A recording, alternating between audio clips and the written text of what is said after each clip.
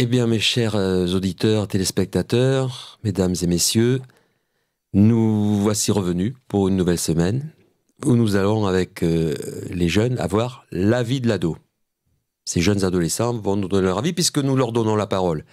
Ils vont parler sans haine, sans retenue, sans crainte, sans tabou de, des faits de société que nous allons évoquer. Et aujourd'hui, nous allons parler du harcèlement, évoquer le harcèlement scolaire. Un fléau. Un chiffre. La France compte 67 187 000 habitants. Euh, ce sont les chiffres de l'INSEE qui ont été donnés pour l'année 2018. En 2019, 2021, euh, en France, il y a 15 millions 430 000 enfants de 0 à 19 ans. On ne le dirait pas. Hein Et sur ces 15 millions, il y en a 12 millions qui ont moins de 15 ans. Donc de 0 à 15 ans. Et ces enfants sont évidemment scolarisés pour la plupart à partir de 4 ans. Ils sont scolarisés et ils sont victimes très souvent de ce fléau qu'est le harcèlement scolaire. Il y a actuellement en France, l'année dernière, il y a eu 700 000 enfants qui ont été victimes de harcèlement. 700 000 gosses qui pourraient être nos enfants, victimes ou auteurs, nos enfants victimes ou auteurs. Je suis entouré euh, de Enzo, comme la semaine dernière, et de Christophe.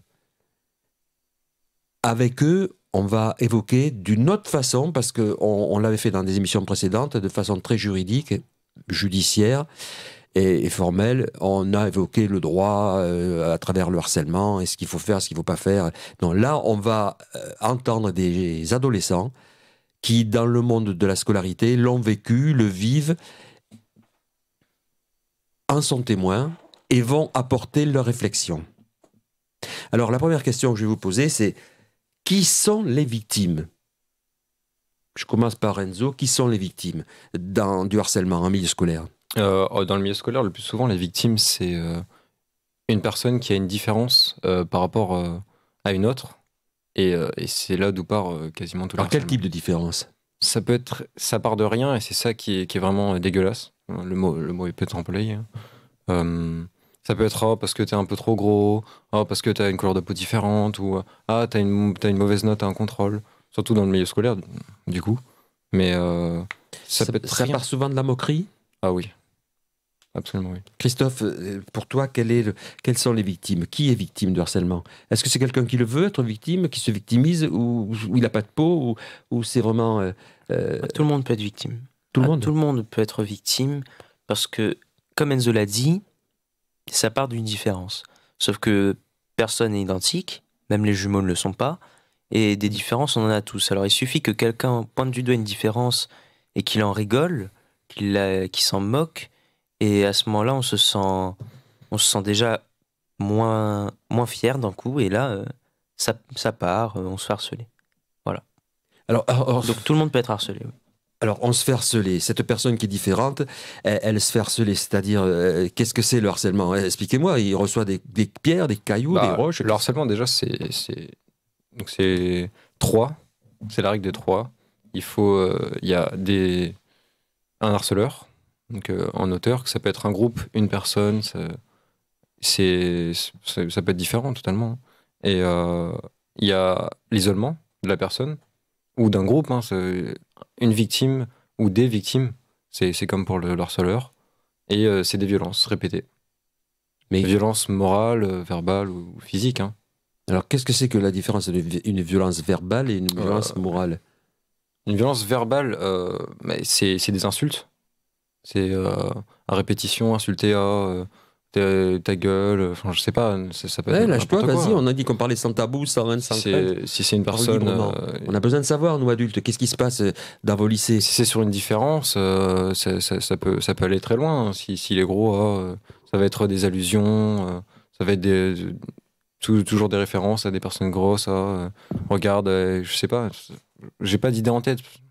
C'est horrible, mais Christophe, tu peux reprendre le relais. comment ça se passe on, harcèle comment De façon, euh, on donne des coups de poing, on, fait, on, subit des, des violences. Alors quoi c'est Les violences, ben c'est déjà c'est l'usage excessif de la force Et on ne fait pas seulement référence à la force physique. En fait, on peut. Toute chose qui porte atteinte à notre intégrité morale ou physique peut être considérée comme une violence. Voilà, donc de ce fait, tu peux subir des violences morales qui partent d'insultes, euh, qui peuvent être des insultes, des moqueries, des violences euh, physiques, des coups, des gifles, des bousculades, plein de choses comme ça. Et tant que c'est Mais c'est répété, graduel ou ça part d'un coup? On va commencer par euh, te Alors, bien gifles souvent c'est graduel. Ouais. Ah bon Bien souvent, c'est Ça- graduel. Ça commence par quoi alors? Bah, bien souvent ça peut être une moquerie, comme on le dit, Hmm. la moquerie qui devient l'insulte, l'insulte qui devient euh, plus qu'une insulte, euh, complètement euh, la, la dérision de la personne. Puis ensuite, ça peut devenir là la violence physique, ça devient encore plus concret, une petite baffe, une petite gifle. La violence, la gifle, elle devient une bousculade. Ensuite, ça devient un coup de poing. Ensuite, ça devient un passage à tabac. Ça continue, c'est graduel. Mais si je comprends bien, la victime, elle se laisse faire alors? La victime, bien souvent, ou les victimes, bah, elles sont isolées, elles se sentent impuissantes. Et quand on se sent impuissant, bah, on, on réagit, mais faiblement. Et quand on réagit faiblement, bah, euh, désolé de le dire comme ça, mais du point de vue du harceleur, c'est ridicule. C'est ridicule et ça incite à continuer pour le faire réagir. Alors, l'harceleur, qui c'est? Qui c'est ce, ce type-là? Ça qui, être- c'est ce délinquant? Qui Ah, c'est c'est ce- tout le monde. Ça peut être ça peut être n'importe tout le qui. monde. Ça peut être toi? Ah, ça, absolument. Ben Ça oui, aurait pu, oui. ça aurait pu. Ça peut être toi aussi. Ça Bien sûr, pu. mais il faut, il faut pas, en- il faut, pas en être choqué. Tout, le monde peut Eh, faire je fais le choquer, mais j'ai été harceleur. euh, On l'est encore, on vanne. À notre époque, on vanne. On vanne quelqu'un. Ouais, voilà, c'est une forme on de rigole, mais aussi, on, je comprends. on s'en rend même pas compte. Ouais. Enfin, souvent, les, les harceleurs s'en rendent pas compte. Et c'est le, au moment où ils s'en rendent compte que C'est trop tard. Et Après, ils s'en veulent. mais- oui, euh, ils s'en veulent ou pas. hein, euh, Alors, le harceleur, il fait ça parce qu'il est, il a des spectateurs qui Ouais, l'encouragent. ouais, il a besoin de se sentir. euh, bien souvent, euh, un, un harceleur, enfin en tout cas le, le meilleur de- d'un groupe de harceleurs, il, est, il veut se sentir plus fort que les Ah, autres. Oui. Donc, dans le groupe, il va apparaître euh, en étant le cake, Absolument. Ouais. Il, il va- il- oui, le, le coq, hein. voilà, Mm. c'est ça, hein. comme dans une basse-cour. hein. Ouais. Bon, moi, je vais vous citer ce qui m'est arrivé parce que été gosse aussi. hein. Mhm. Je suis pas né comme ça. hein. Donc, euh, lorsque j'étais petit, ben, les, les- les- les mecs de mon village, ils me couraient après puis ils me tabassaient. Ouais, et fois, j'ai je vais les retrouver, moi. J'ai pris de ces, ouais, non, mais j'ai pris de ces trempes incroyables. Tout ça parce que, ben, il paraît que j'étais différent. Et j'étais gros. J'étais gros, donc il se foutait de moi et tout ça. Et un jour, j'en ai parlé à mon père. Et mon père, qui était militaire, vous savez ce qu'il a fait? Il m'a foutu une trempe. Il m'a dit, la prochaine fois, tu fais pareil. Je, je tapais, je- je- j'étais tapé, mais je tapais pas.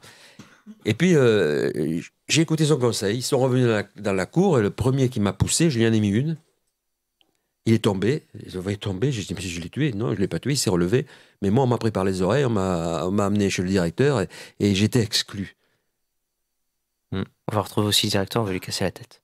Non, Bah, on, va non. te, on va te venger. Non, non, mais on est. On, Mais c'est essaie- pas la- tu c'est vois, pas- Je, je vais te dire jusqu'où ça mène. C'est pas la bonne chez solution. moi, ça a développé un instinct de violence. Mhm. Je me suis mis à se faire du sport de combat pour me défendre. Et lorsque, même actuellement, là, je- on se fout de moi, ben, te moque pas trop de moi parce que je ferme vite les poings. Tu vois jusqu'où ça a conduit? Ça a créé en moi un instinct de violence. Alors je me réfrène parce que j'ai fait de la psychologie, parce que j'ai fait des arts martiaux et que le but de- des arts martiaux, c'est Se de, défendre. de se, de se défendre, d'imposer sa force par le regard, et puis de désarmer les conflits par la parole. Puis quand on- mais voilà, je sais la canaliser. N'empêche que je reconnais que avoir été harcelé, ça peut conduire au désespoir. Moi, ça m'a conduit à l'espoir, l'espoir de casser la gueule à quelqu'un. Et c'est terrible. J'étais un homme violent. Après, dans tous les sports que j'ai faits, j'étais violent. Euh, je me suis soigné. Attention, va violent. J'ai jamais tapé une femme, jamais. Mais dans, quand on me cherche, Ouais, on ouais. me trouve. Voilà. Euh, C'est ça que ça a fait de moi. Mais le harceleur, le harcelé et le harceleur, quel rapport ont-ils au moment des faits? Est-ce qu'ils se parlent? Est-ce qu'ils se, est qu'ils se disent excuse-moi? Ou, ou est-ce que c'est permanent, Non, c'est- permanent? C'est un rapport de dominant et de dominé. Dominant ou dominé Absolument. Alors la question, est-ce que vous en voyez souvent des scènes de harcèlement au, au lycée, par exemple? Au collège Pardon, au collège, ça existe. Ouais, ouais. C'est plus fréquent? Non, je pense que c'est plus mesquin en fait. Plus mesquin? Oui, parce que Explique. euh, il y, y a un côté euh, un peu plus mature euh, au lycée et un peu plus caché surtout. Ouais. Plus caché, ouais. Absolument. plus ouais. vicieux. Puis comme on sait qu'il y a des limites à pas dépasser, bah, on fait en sorte que ce que ce qu'on fait ne se voit pas. Alors qu'au Quand collège, je dis on, euh, c'est pas nous, hein, c'est d'aucuns. au collège, c'était plus euh, bon, mais deux personnes qui vont se battre, euh, puis ça va être répété, répété, etc. ça, ça va en venir aux mains, mais au lycée, c'est plus, euh, c'est plus dans la version verbale et morale et, et surtout le cyberharcèlement. Alors, on va y venir à ça. Mais avant, on reste dans le Absolument. pourquoi on harcèle, comment on harcèle, quand on harcèle, où et avec quels moyens? Quels moyens? Donc, on a fait le tour, là. Vous avez autre chose à rajouter? Euh, Ça existe, c'est permanent, ça existe tout le temps. Par exemple, dans ta classe, est-ce qu'il y a des, scènes de harcèlement? Est-ce qu'il y a des. Et toi, pareil, réfléchis. Alors, je pense pas. hein, enfin, en tout cas, j'espère pas qu'il y en a et qu'il y en aurait. Euh, déjà, je suis délégué, donc euh, s'il y en aurait, euh, je serais donc intimement lié et ça me, vraiment, ça me ferait du mal. Mais je, moi, j'en vois pas en tout cas. Et, il y en a pas. En tout cas, je l'espérais. Est-ce que le fait d'en parler, et on verra après quelles mesures ont été prises ou quelles mesures sont prises dans les établissements, est-ce que le fait d'en parler, ça euh, euh, a tendance à annihiler le phénomène? Oui. Oui. Ah oui, parce que, comme j'ai dit tout à l'heure, euh, souvent les harceleurs et les groupes euh, de harceleurs, ils se rendent pas compte. Et le fait qu'il y ait des interventions, des fois il y a des CPE qui viennent auprès d'une histoire, qui, qui, qui racontent les, donc, tous les faits et les conséquences pour le harceleur. euh, euh, forcément, si on s'en rend pas compte, mais si on le dit, après, ça, ça passe dans le réel. Euh, Et lorsqu'on a préparé l'émission, euh, tu m'avais dit que le harcèlement, ça existait depuis toujours, et puis que c'était comme ça, et puis que ça ne changerait jamais. Tu te souviens? Ouais. Je m'étais presque insurgé. et, et tu peux encore soutenir cette thèse? Bah, je pense, oui. Vas-y. Bah, c'est quelque part, c'est dans la nature de l'homme, des dominants, des dominés. C'est animal en fait. On a toujours euh, en sous-fifre, même hiérarchiquement. Et c'est pour ça que le harcèlement au travail existe, parce qu'on a quelqu'un en dessous de nous qu'on peut écraser pour euh, se sentir un peu plus fort. À l'école, c'est pareil. On a des gens, ils sont plus faibles dans un domaine, c'est leur différence. Par exemple, lui, il est nul dans telle matière, alors là, je, je l'insulte, je l'écrase. Et tant qu'il y aura tant qu'on mettra en avant quelqu'un et que donc par conséquent quelqu'un d'autre sera rabaissé, ben, ça aura des chances d'entraîner harcèlement. Si la personne qui est en position dominante eh ben, n'a pas l'intelligence de se dire pourquoi je ne l'aiderai pas, au lieu de, de l'écraser. Mais c'est très complexe comme notion quand même. Hmm. Est-ce que vous, vous pensez, je, sais que vous y pensez, mais est-ce que le harceleur et est-ce que les gens qui sont euh, les voyeurs et qui assistent et qui ne font rien, donc qui sont passibles de cette personne en danger, c'est Mhm. sûr, Ouais. mais est-ce que vous pensez que la victime est vraiment en danger? Ah oui, Ah oui, oui. ah oui. Pourquoi? Ah mais parce que déjà si elle est en danger euh, au niveau physique, parce que s'il y a des violences physiques, bah alors là elle est Elle est vraiment. directement en danger. Si, mais que ce soit physique ou moral, on se sent seul, impuissant, même des fois dépressif et dans le pire des cas suicidaire. Alors à ce moment-là, là, on est, on est même euh, en danger par rapport à soi-même, parce qu'on les, gens les- qui essaieront de se donner la mort. Pourquoi les, euh, les gens vont, vont-ils, d'après vous, jusqu'au suicide? Parce que bah, ils se sentent isolés, il y a personne qui vient les aider. Enfin, en tout cas, c'est ce qu'elles pensent, bien souvent.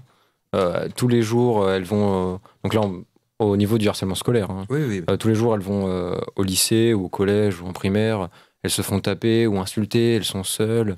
Souvent, euh, du coup, il y a une chute au niveau des notes et, et au niveau euh, d'envie d'apprendre et, et de- d'avoir du savoir. Donc, elles ont plus, euh, elles ont plus envie, elles ont plus le goût, ce goût de vivre euh, qui, qui fait qu'on est, qu'on aime aller en, en cours. hein. Sur 700 000 enfants euh, harcelés l'année dernière, il y en a un dixième qui ont fait des tentatives de suicide et il- 70 000 personnes. 70 000 personnes, un dixième qui ont fait des tentatives de suicide et il y en a qui sont suicidés. C'est- dramatique. Quand on est papa d'un enfant qui ne dit rien euh, et qui a un problème, puis qu'on ne s'en rend pas compte parce qu'on n'a pas le temps, Mhm. on est Ouais, un ouais. mauvais papa, on est un mauvais parent, c'est certain. Et là, j'accuse les parents qui ne voient pas parce que ça se voit. Je regrette, mais ça se voit. Ouais, un comportement. euh, quand vous rentrez du lycée et que vous avez eu des problèmes effacée, euh. parce que vous- la note n'a pas marché, parce que euh, vous êtes fait engueuler par un prof, on le voit et on demande, on parle. Mais l'enfant qui ne parle pas et qui est qui se suicide, ça va tellement vite le passage à l'acte que qu'est-ce que vous- on pourrait faire euh, à votre avis hein, pour que ça change dans un lycée En tant d'abord que citoyen, euh, citoyen élève. Après, on verra avec l'ADEX que on pourrait faire encore mieux. Mais là, quel est votre avis sur comment pourrait-on lutter contre le harcèlement? Bah alors, euh, en tout cas, moi je sais que euh, pour Christophe et euh, mes amis proches et, et moi-même, euh, dès qu'on voit ne serait-ce qu'un petit peu ou une scène un peu violente ou même euh, un, petit mot qui rabaisse une personne, moi je sais que immédiatement lui parler, je vais lui parler, que ce soit donc sur un réseau social, puisque maintenant on peut parler par réseaux sociaux à, tout le monde qui a un minimum de téléphone et internet, ce qui est, ce qui ce qui est bénéfique. hein. Et, euh, ou alors euh, directement après, pour savoir si ça va, si c'est pas répété, si elle va bien, pour lui apporter son soutien, parce que forcément c'est une victime et elle est isolée, comme on l'a dit tout à l'heure. Et même si c'est, même si la personne on la côtoie pas ou on l'aime pas ou qu'importe, hein, qu'elle se sente euh, aidée. Tu as prononcé un mot, et on va y venir, je, je l'attendais, c'est réseaux sociaux. Et là, euh, je porte une accusation. Ces réseaux sociaux, ces moyens de communication modernes dont vous disposez, sont de véritables fléaux qui permettent à d'aucuns de s'exhiber sexuellement, d'exhiber de la violence, de foutre Mm. des coups de pied dans les chatons. Euh, Je, je- je parle de Kurt Zuma, le, le- Ouais, le- où on va là. Et, et puis, puis de se battre, de, de livrer des combats euh, dans les cours de, de récréation, et puis de harceler. On se harcèle par. Et là, je trouve que c'est. Qu'est-ce que qu'est-ce qu'on peut faire euh, au niveau des, des réseaux sociaux pour calmer ou pour. On, on le fera pas parce que c'est un, un, un- un- un défouloir. le- les réseaux sociaux. c'est- On peut, on peut endiguer ça, hein, mais c'est très complexe. Parce que là, il faudra imposer des règles, mais c'est quelque chose qui est. Alors, il faudrait que l'Union européenne, ou alors même la France, juste, impose des règles, mais c'est c'est les États-Unis, c'est c'est l'Amérique, c'est pas. C'est pas français tout ça, c'est pas français Twitter, Facebook, Instagram. Les GAFA, tu parles des GAFA là. Ouais, gaffe. Mais c'est les réseaux sociaux principaux, Bah hein, oui. parce que Hmm. Bon, est je connais pas de réseaux sociaux français moi. hein. Non, il y en a Oui, pas. il y en a tout pas. est en Californie. euh, Hmm. Ça, ça c'est depuis Donc, notre pour la ressort. législation, la législation de l'Europe, de la France, tout ça, pff, ça, ils en ont rien à faire. Et puis si, si au final on les embête plus qu'autre chose, euh, c'est limite s'ils peuvent, s'ils pourraient pas euh, nous retirer tout ça et puis euh, allez vous faire voir, Ouais, euh, ouais. dé- débrouillez-vous. hein. Je pense que c'est un, problème qui échappe. euh, Donc vous êtes quand même d'accord que c'est par les réseaux sociaux que pensent la plupart des, des, des Aujourd'hui, oui. Aujourd'hui, oui. Aujourd'hui, Ah oui. Parce que c'est facile. Parce qu'on a donné simple. aux harceleurs une arme qui s'appelle, euh, comme tout le monde le sait, l'anonymat. Hmm. L'anonymat, alors certains l'utilisent, certains l'utilisent pas. Mais dans tous les cas, quand on est derrière un écran, bah On se sent protégé. Voilà, exactement, on par- c'est- Alors vous êtes sûr que euh, la cybercriminalité, les gens qui s'occupent de la cybercriminalité, ne peuvent pas retrouver euh, quelqu'un qui harcèle sous prétexte qu'il se cache avec un pseudonyme? Ah, si, si, on si, peut le y aura retrouver. Ah bon. On peut, on peut sûr, très vite le retrouver, ça, il n'y a pas de Alors on souci. peut le retrouver que s'il a commis, euh, dans le cadre d'une enquête, s'il est, est à l'origine d'un suicide par exemple. Mais Ouais. s'il y a une plainte est déposée, on peut aussi le retrouver? Oui. Ah oui, il n'y a pas besoin d'aller jusqu'au suicide pour. euh, et on peut très vite retrouver l'adresse IP de quelqu'un, et avec l'adre- l'adresse IP de quelqu'un, on sait où il habite. euh, Alors euh, question, de- vous n'êtes pas juriste, vous n'êtes pas flic, mais pourquoi ça se fait pas? Pourquoi parce, pas que, parce que les gens qui sont harcelés euh, dans le, cyber, dans le cyberharcèlement, bah, ils sont. En fait, ils sont un peu démunis. Et ils savent pas, ils savent pas que c'est possible. Moi, quand on me dit, personnellement, quand on me dit porter plainte pour du cyberharcèlement, bon, c'est je, c'est du harcèlement, c'est très grave. Et pourtant, je, je me dis pas, il faudrait le faire. Mhm. Parce que euh, au final, c'est que mon petit écran. Exactement. Et à, à la limite, je l'éteins et j'en parle plus. Bon, ben, avant d'éteindre le petit écran, on va faire une pause de publicité et on se dit à tout à l'heure. Mesdames et messieurs, rebonjour. Nous revoici à nouveau dans l'émission La vie de l'ado sur le thème le harcèlement. Après cette pause musicale, on va redémarrer les débats sur euh, ce qui se fait, notamment euh, dans les lycées. On va, c'est- une décision nationale, hein, ça se fait Ah dans oui. tous les lycées. Mm. Donc parle-nous, puisque tu es un peu intéressé dans la mesure où tu es euh, délégué de classe, tu es délégué de... Alors, je suis délégué de classe et je suis vice-président du CVL. CVL, c'est un acronyme qui veut dire Conseil de vie lycéenne. Et euh, en gros, c'est. Alors quelles sont les mesures qui, qui ont été mises ou, ou qui sont mises en place dans ton établissement? Tout s'est accéléré euh, très vite parce que l'année dernière, on n'en parlait quasiment pas. Et cette année, on a eu donc plusieurs réunions déjà, enfin plusieurs. Vraiment pas On mal ne de parlait réunions. pas du harcèlement. hein. Absolument. ouais. Voilà. C'était, c'était, euh, Mm. je voyais ça comme un, un peu un sujet tabou. Mhm. En tout cas, le lycée voyait ça comme ça. Mm. Ce que je trouve euh, très désolant d'ailleurs. hein.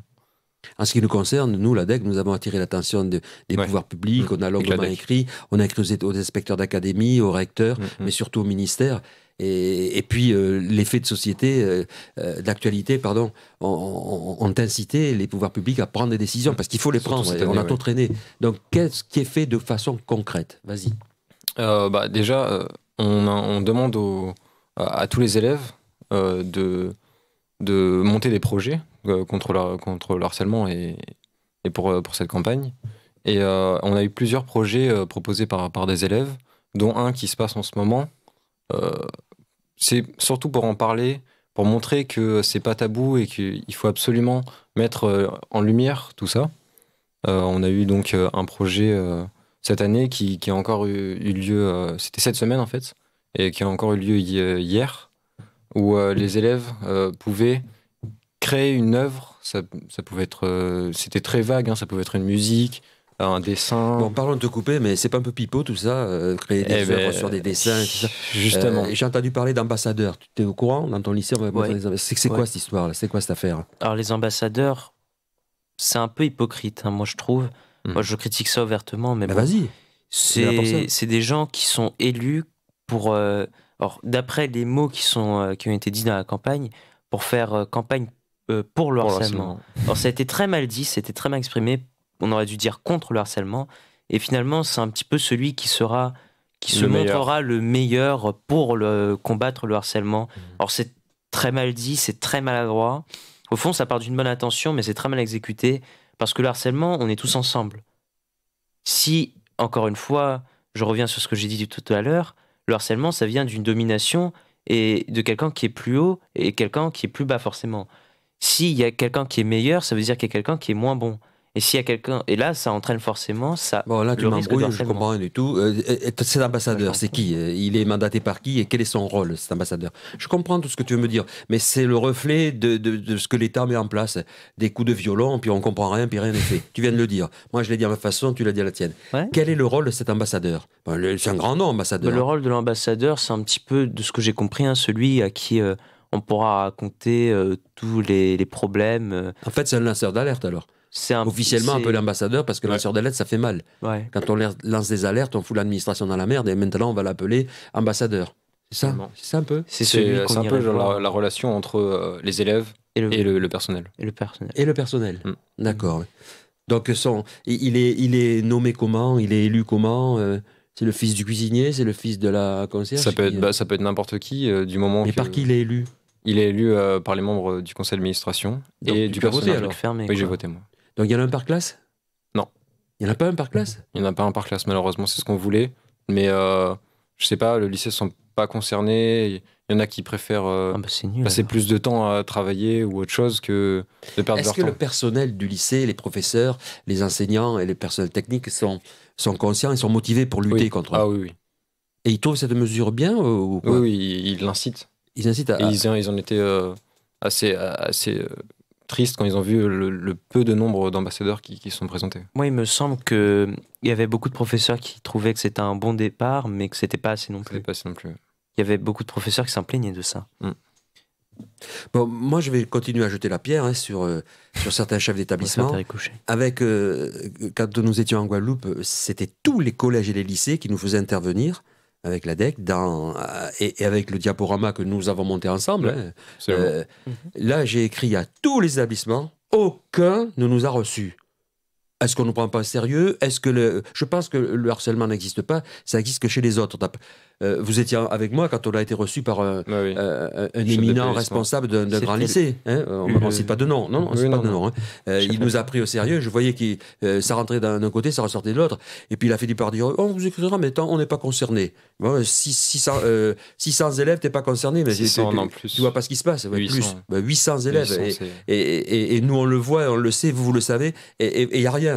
Bon, euh, dans votre établissement, on prend le taureau par les cornes, mais j'estime que c'est bien, c'est bien d'en parler, mais c'est pas assez fort. quoi. Qu'est-ce qu'il faudrait faire d'après vous, d'après toi? Donc, on, on a évoqué le, le- le phénomène de la classe. Dans la classe, il n'y a, pas de référent. Il n'y a pas un mec qui est référent, qui est capable de dire Oh, attention, ce que tu fais, c'est pas bien. Tu l'as dit. Lorsque tu vois quelque chose se passer, C'est peut-être censé être le délégué, le délégué de la classe qui a été élu pour ça. Euh, normalement, lorsqu'il se présente, il dit oui, si vous votez pour moi, je, je rôle. vous défendrai euh, à l'administration et tout, et puis j'aurai ce rôle de, de média entre les profs et les élèves. S'il y a un cas d'harcèlement, dites-le moi. Normalement, c'est ce qu'il est censé dire.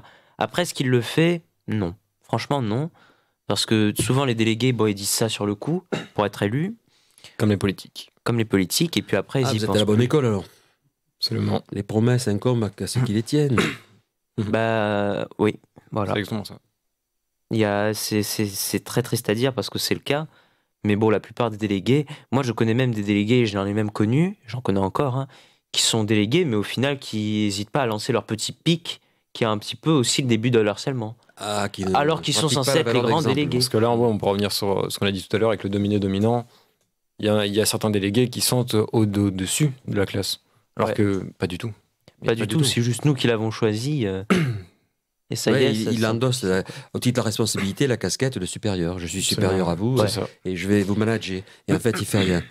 Mais euh, moi, je serais d'avis. Enfin, je, je sais pas. On a aucun. Bon, déjà que l'on passe, que qu'il fasse rentrer des, des associations euh, qui ont une expérience et qui incitent ces associations, les élèves, à comprendre ce qu'est le harcèlement, à comprendre les conséquences qu'entraîne le harcèlement, tant pour l'auteur que pour la victime, et les conséquences disciplinaires et judiciaires. On va les voir après. hein.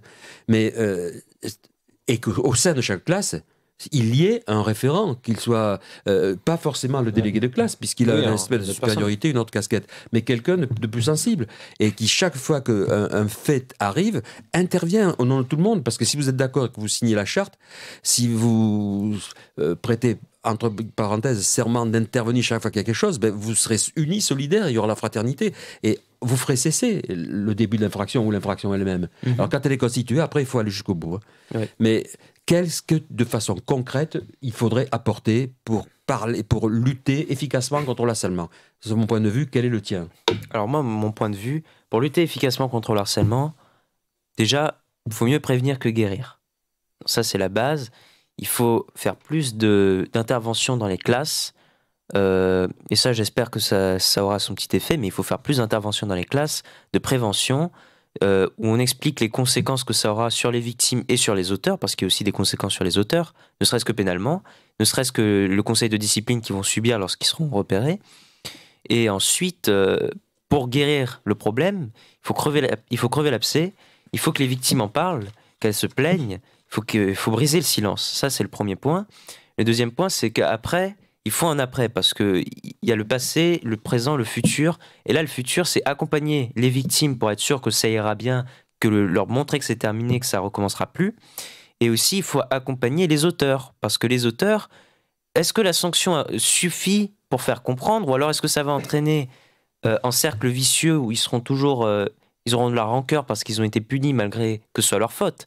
Ils ont, est-ce qu'ils n'auront pas envie de se venger? Est-ce qu'ils vont pas recommencer après?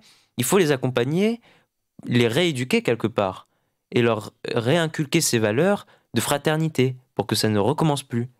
Voilà. Alors là, sur ce que dit Christophe, je peux rebondir. Oui. Euh, à mon avis, le gros problème, c'est donc le silence. On l'a très bien vu avec l'ADEC qu'on a proposé euh, l'année dernière, euh, l'intervention, et qu'on on nous a juste dit Oh non, euh, on ne on se sent pas concerné. Mais il est bien là le problème. Ne pas se sentir concerné alors qu'au sein de l'établissement, il y en a. Moi, vraiment, ça, ça m'énerve au plus haut point. hein. C'est. Il faut arrêter de, de penser que c'est toujours chez les autres. Parce que c'est aussi ici.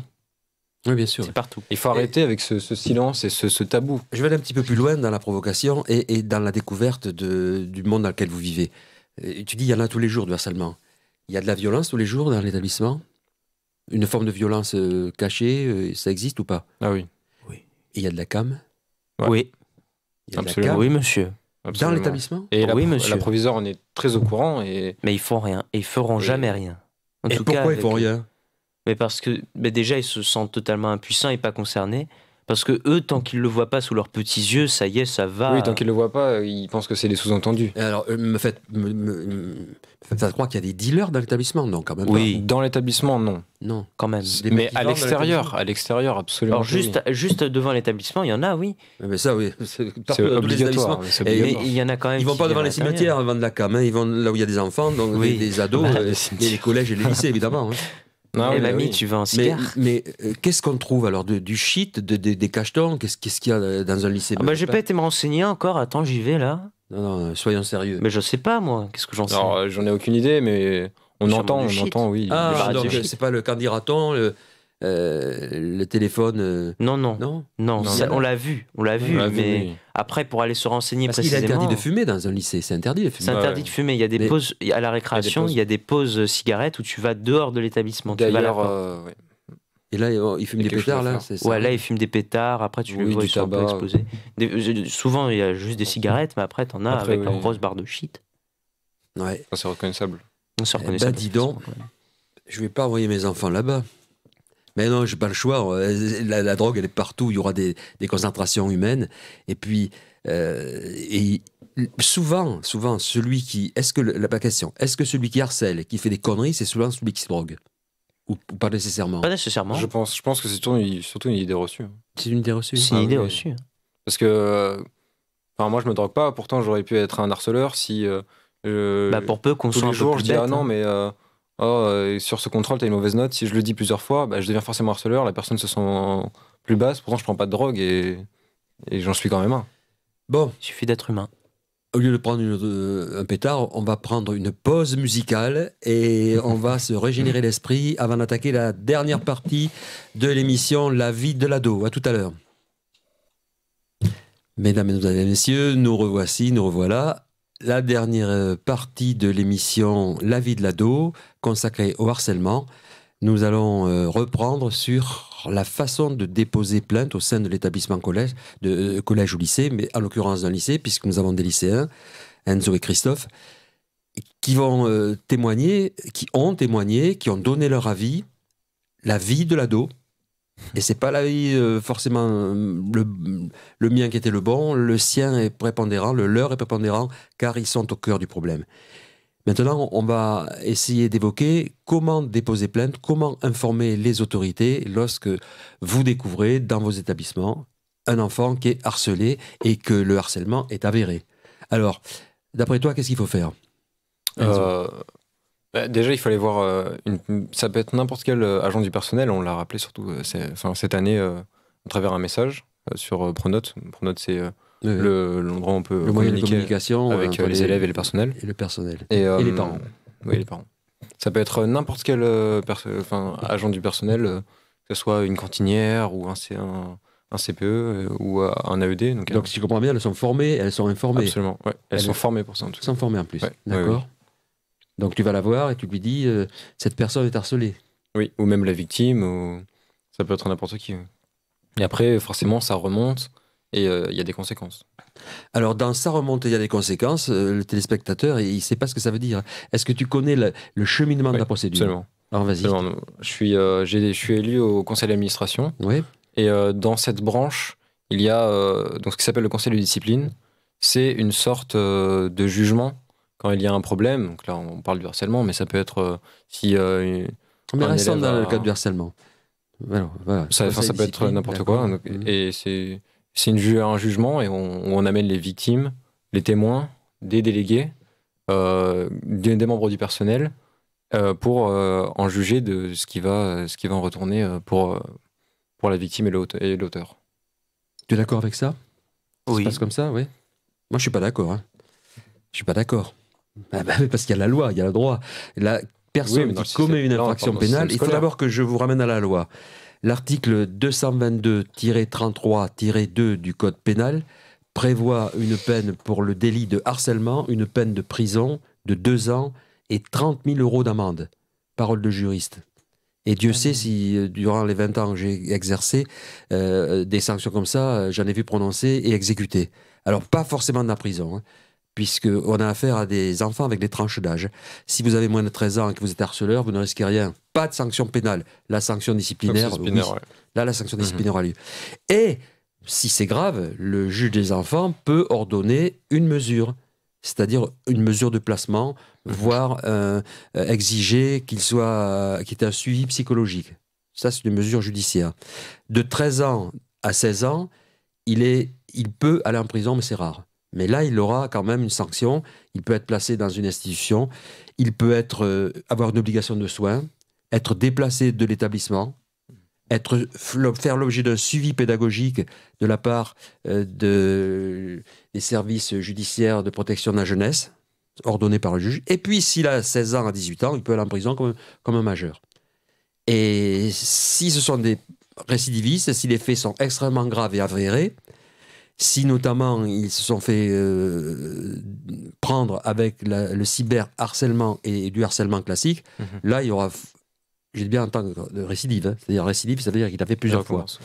Il a réitéré l'infraction, il a recommencé l'infraction, ben là, il ira faire un petit tour dans une prison, dans un centre de mineurs, et il sera soit en milieu euh, fermé, soit en milieu semi-ouvert, mais hélas, il ira en prison. Puis les parents auront une amende. Parce que l'amende qui est euh, recouvrée par le fisc, elle est euh, prononcée au titre du trésor public. hein. Donc si tu fais une connerie, si tu fais une connerie, c'est tes parents qui vont payer. Et ensuite, il y aura les dommages et intérêts que la justice et la, la partie civile va réclamer au juge. Et les dommages et intérêts, le pressium doloris, c'est-à-dire la douleur morale, ça peut se chiffrer en, en, en somme extrêmement importante. Mhm. Donc, euh, vous voyez ce que ça va entraîner dans le milieu familial si vous, en tant qu'auteur, vous commettez un pareil délit. Donc là où je te disais que je suis pas d'accord, c'est si le harcèlement a été avéré, si l'infraction a été constituée, c'est-à-dire que si les éléments constitutifs de l'infraction de harcèlement sont réunis, que la victime a déposé plainte, tu ne peux pas prononcer le conseil de discipline.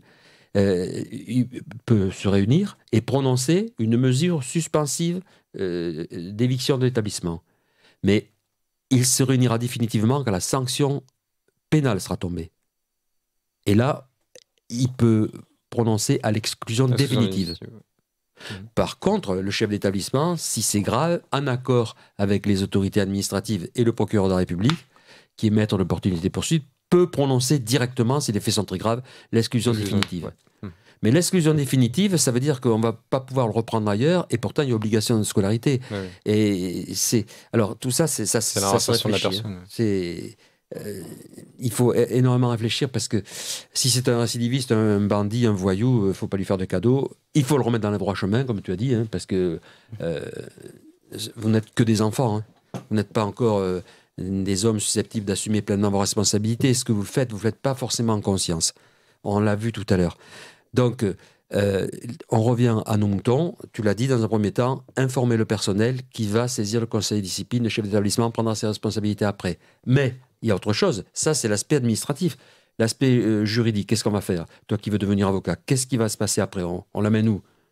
Euh, La, victime, est, On l'amène au commissariat, elle porte plainte? Voilà, elle dépose plainte pour. pour harcèlement? Et et pour euh, violence physique ou morale s'il y en a eu? D'accord, ben, ça fait partie de l'harcèlement sur les éléments constitutifs. Mais Oui. tu vas l'amener comme ça, euh, par la force? Comment tu vas. euh, c'est toi qui vas l'amener ou tu vas lui conseiller? Non, je lui ai conseillé d'aller avec ses parents porter plainte. Voilà, alors, non seulement lui conseiller, mais euh, Vivement l'encourager. l'encourager et l'aider. Alors, pour aider, d'après toi, est-ce qu'il faut faire, d'après vous, est-ce qu'il faut faire quelque chose pour l'aider? On va arriver au commissariat en disant à la gendarmerie voilà, euh, je suis avec les parents de monsieur Untel, j'appartiens à une telle association, euh, je, je la présente parce qu'elle veut déposer plainte pour harcèlement. On peut, pourquoi pas, oui. Oui, mais tu vas avec quoi? Moi, ce que je. Il faut du biscuit quand même. Il faut arriver avec un dossier, il faut arriver avec quelque chose. Parce que c'est sa parole contre celle qu'elle elle va mettre en, il va mettre, elle va mettre en cause, cette personne harcelée, il va mettre en cause un auteur. Oui. Alors, qu'est-ce qu'il faudrait d'après vous? Bah déjà, il faut des preuves. Les Voilà. preuves, ça peut être euh, les traces de coups qu'elle a avec euh, le comment on dit? Certificat le médical. certificat médical du médecin. D'accord. Euh, Mais il y a plus simple encore. des vidéos, Des témoins. Voilà, les vidéos, les témoins, les témoins. les copains. Les copains qui sont témoins.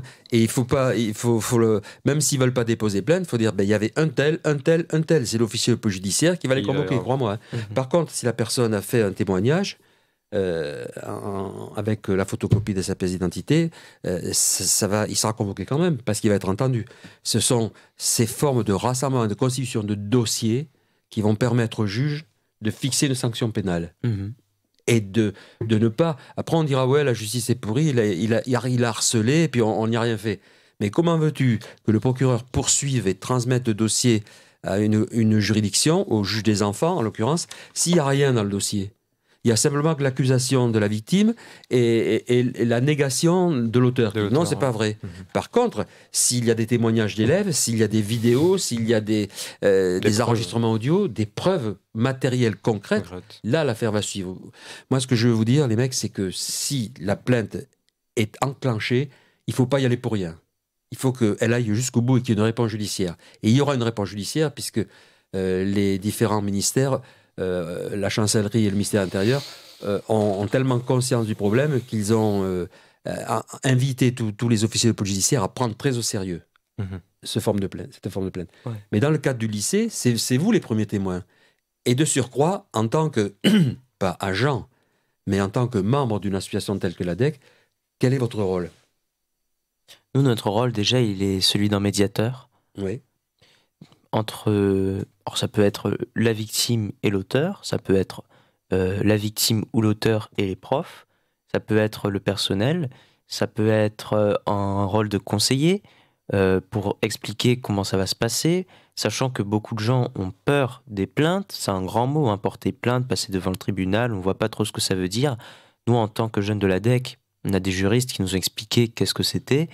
On sait à peu près ce que c'est, en tout cas mieux que quelqu'un qui n'est pas du tout informé sur le sujet, et on peut dédramatiser la chose, expliquer un peu mieux, qui comprennent là ce qu'il va faire, où il va aller, et pour donner espoir.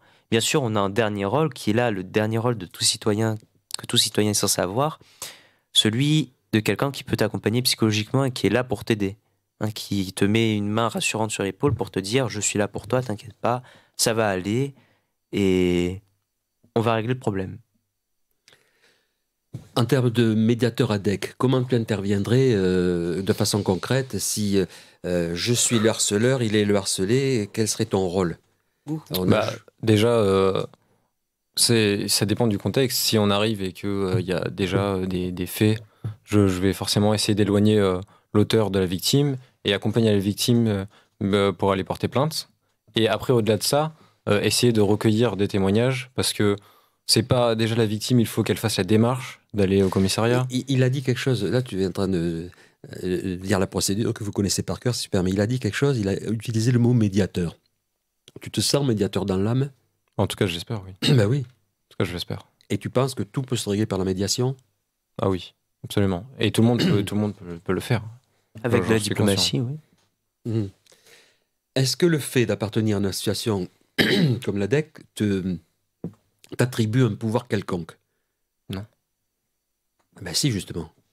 Alors, je, je, ne me sens pas, je ne me sens pas plus en pouvoir puisque je fais partie de l'EDEC, mais Pardon, si, si. Je me, Pourquoi Je me sens peut-être plus concerné, oui, ça c'est sûr. Mais concerné, mais tu as un pouvoir, tu n'as pas un pouvoir de coercition, as, mais tu as le pouvoir que te confie euh, la loi.